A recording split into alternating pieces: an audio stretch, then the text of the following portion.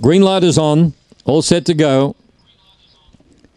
Stand by. They're off. Polly 2 was slow to begin. Cheech Marlowe was best out. Shows out in the early stages. Railing up Secret Bogan. It's dashed to the front, down the back, out wide. Sweet Kiss putting itself into it. Rusty Judy getting along the rail. Further back, Cool and Able. Mr. RJ. Polly 2's well back with Spitfire Road. Coming to the turn. Secret Bogan by three. Sweet Kiss chasing it. Secret Bogan scores. Two lengths. Sweet Kiss. Third home, Cheech Marlowe. Fourth, probably Mr. RJ. Not far away, though, Cool and Able is in the photo there. They're followed by Polly 2. And further back in the race, then, after showing good speed, was Rusty Judy Spitfire Road, 2270.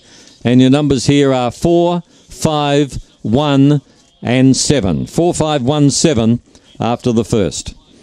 Spitfire Road, uh, rather Secret Bogan, I should say. Brindle Dog by Falcon from Boganesque. It's a good litter. Is raced by the Riff Raff Syndicate, the manager Kim Johnston,